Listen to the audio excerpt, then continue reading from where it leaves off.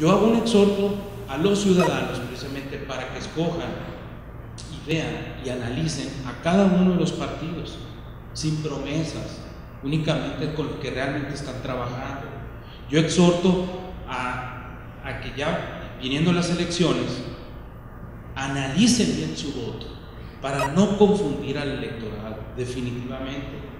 Nuestro partido estará muy atento precisamente al tema de los candidatos, a quién se va a escoger, cómo lo vamos a trabajar. Si es posible habrá coaliciones, pero tendremos que negociar, hacer actos muy profundos de parte de los partidos eh, en coalición y definitivamente ver que el sonorense no se arte de la política, porque así lo estamos viendo. Es un hartazgo en los ciudadanos. Nosotros lo vemos muy bonito de este lado, pero realmente hay que preguntarle al electorado y al sonorense si no está harto de la política, precisamente por lo que están trabajando en este momento los gobiernos.